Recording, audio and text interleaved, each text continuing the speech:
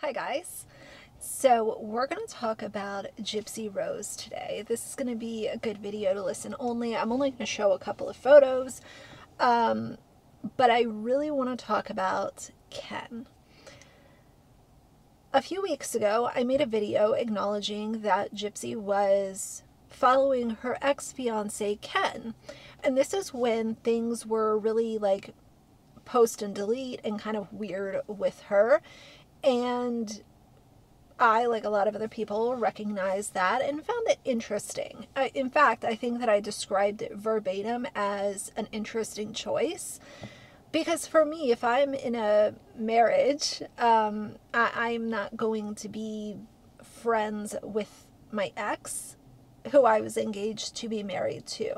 And that's just the way that I operate everyone looks at it a little differently. Some people can be friends with exes, some people can be friends on social media, but you don't talk on the phone. Like, whatever. I think it's a little weird, and I thought it was interesting. Well, there is a newly released photo of Gypsy Rose at a tattoo shop with her ex fiance Ken. I'll throw the image right here. They, it looks like he was getting a tattoo done and she was sitting next to him. The photo is absolutely going viral. It's on so many different TikToks, Instagrams. What this photo is doing is making a lot of people um, kind of think, hmm, well, maybe it wasn't all that weird that she was following him um, on social, and now she announces a separation and she's seen out in public with her ex fiance. She knows that she's going to be photographed, she knows that people know who she is, and she chose to go to a very public, wide open tattoo shop with him. And maybe she wants you know, there's no such thing as bad press. A lot of people operate off that philosophy. Maybe she's looking at it that way. Maybe she just doesn't care. I'm I'm not sure. But I went over and looked at Ryan's Instagram because his Instagram is still up and it's public, at least as of, you know, a few hours ago when I checked. And his last picture that he posted was of their little puppy Pixie on March 21st. A lot of the comments are obviously just dragging him to hell and back and pretty much roasting the guy. What I want to know, number one, is where is the puppy? Where is Pixie? Did Ryan keep the dog? Is he um, is he happy to keep the dog? Is he going to make sure the dog is taken care of? Was the dog rehomed? If it was rehomed, was it done responsibly? How sad for this little puppy. That sucks like it, like you're you're literally brought home. You start to get to know these two people for what five six weeks? And then everything changes. It just sucks. People in my opinion the reason that i get so kind of upset over these kinds of things is because i feel like so many people don't think of the sometimes 10, 12, 15, 16 year commitment that owning a dog really is. Um, you know, it's not something that you do because you just got out of prison and you want to have a puppy to show on social media. It, it's so much deeper than that. And um, it, it will always upset me when people treat getting a dog as if it's just something to do on a nice Saturday afternoon. The other thing is that Ryan is only following eight people and he is no longer following anyone associated with Gypsy. So he's, you know, cleaned it up. He still has photos of him and Gypsy on his page and I'm sure that those will be the next things to be removed.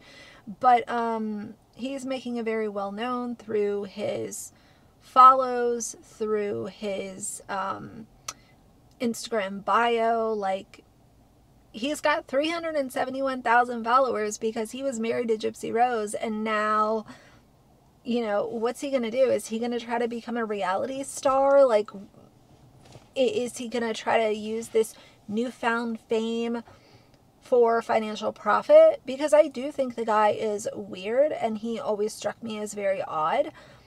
Um, I could see him trying to become like a D list celebrity by um, being Gypsy Rose's infamous ex husband. But I would like to hear what he had to say um, about living with her and being in the room when I'm pretty sure a lot of interesting conversations were happening. Whether or not we'll ever hear it, I don't know. If he speaks publicly, of course, I will bring it to y'all. But um, I'm sure that he heard a whole lot. Now, I have two parts or two articles that I want to read some to y'all because it really breaks down who Ken is. This first one is from People magazine and it says Before Gypsy Rose Blanchard got married to her current husband, Ryan Scott Anderson, she was previously engaged to another man. While serving time in prison for her role in the killing of her mother, Dee Dee Blanchard, Gypsy was in a relationship with a man named Ken who first started as a pen pal. Though Ken has largely stayed out of the spotlight, Gypsy has revealed a few details about him and their relationship over the years. In her new Lifetime docu-series, The Prison Confessions of Gypsy Rose Blanchard, Gypsy gets incredibly candid about her former romance with Ken, noting how he was one of her first major heartbreaks. When Gypsy spoke to E! News in 2019, she said that Ken first contacted her after watching the HBO documentary Mommy, Dead, and Dearest, which detailed Gypsy's early life and the abuse she endured from her mother, Dee Dee. And I've mentioned before, I have not watched the act because it's more fictional, but I did watch that documentary, and um, HBO is how I learned about Gypsy. It continues and says after he wrote her a letter of support, Gypsy said they started corresponding back and forth on a weekly basis. We became fast friends, she told the publication. It was pretty soon after that we started talking on the phone. We would spend hours on the phone. I talked to him like I had known him my whole life and vice versa. Gypsy told E! News that it wasn't too long after they started talking that she sent him a visitation form to see her in prison. He came and it was kind of a funny story, but within the first 30 minutes, he leaned over and gave me the most wonderful kiss of my whole life. The kiss he gave me was quite passionate. I looked at him and was like, I didn't even know you liked me like that. And he said, Yeah, I have for a while. And I'm like, I have for a while too, Gypsy added, noting she was the first girl he ever said, I love you to. Who knows if that's even true? That, that could be completely fabricated. Though the news of their engagement didn't come out until 2019, Gypsy told E! News that Ken proposed the previous October. This was something we had discussed for a while, so it wasn't out of the blue. She told the publication about their engagement. We bounced around the idea.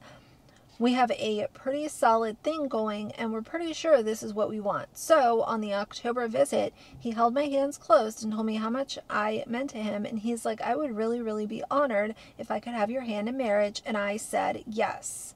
Gypsy revealed that her first engagement ring from Ken was a silver band. However, when it got confiscated in prison, he bought her a new one. We are going back and forth as if we are going to have a, a wedding ceremony in here, she said, about having their nuptials in or out of prison at the time. So if we decide to have a small ceremony inside, we're going to have both. So it's not like I'm getting cheated out of wearing a dress or my father getting to walk me down the aisle. I have that on the outside when I come home. They were very off and on, and I'll get into that here in a second, but I think this hot and cold way that she handles things is a pattern. And it's very clear that she hasn't gained that ability to not be so impulsive. And I think we saw that on her social media as well.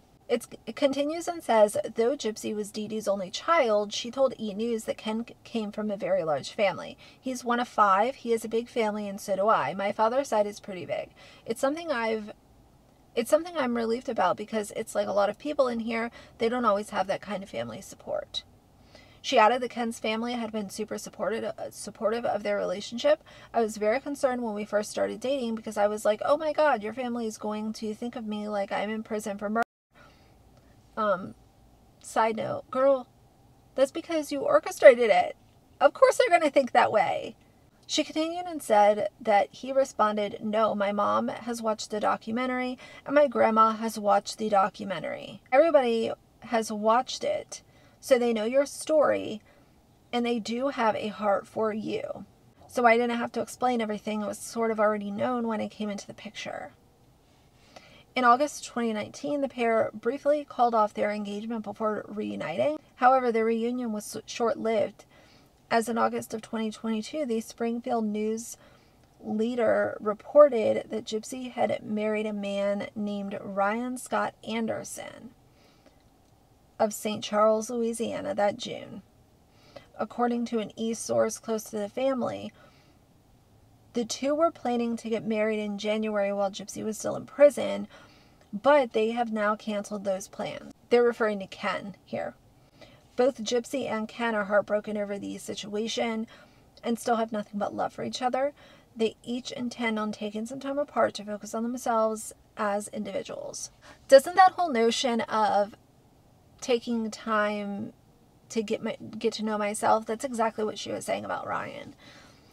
Um, in her new Lifetime docu-series, Gypsy gets incredibly candid about her relationship with Ken, Every time I get close to someone, they leave me.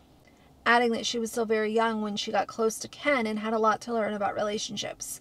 He left me and it broke my heart, she said at the end of their engagement. Seems like she still has a lot more learning to do, so I'm not even sure why the marriage to Ryan.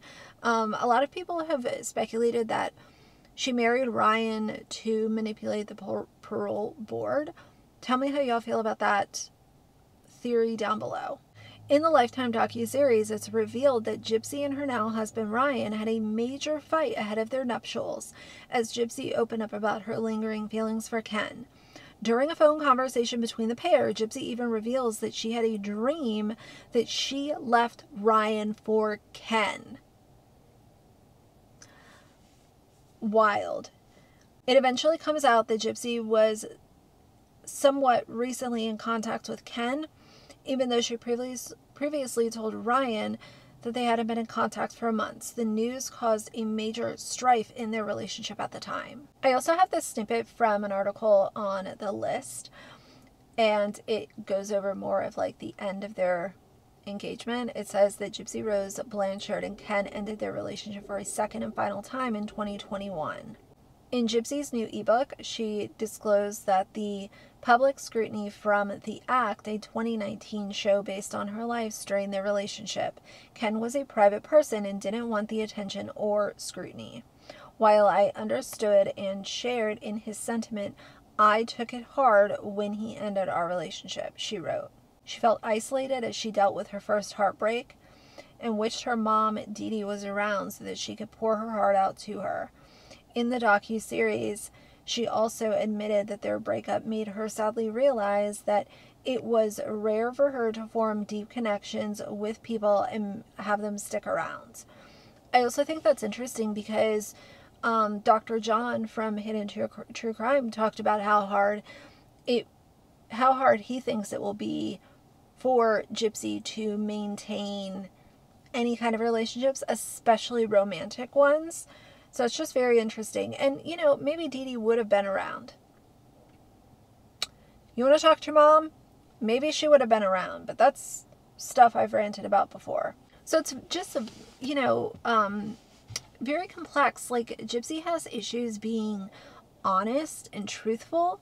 She has issues being consistent. I, I, I truly feel like her best approach to all of this would have just been stay off social media and focus on rebuilding your life. And for the love of God, I would have been knee deep in therapy if I went through everything that she went through at the hands of her mother. But there's been some interesting choices, and seeing that she's a public figure and has done a whole bunch of weird stuff, I'm happy to cover it. But I wanted to share a little more about Ken because since that photo is now totally going viral, figured that it would be interesting um, to make this video. So I think that's going to be enough for today. If you like the video, please leave a like in the comments. And if you'd like to see more from me in the future, please subscribe. I'll see you guys soon. Bye.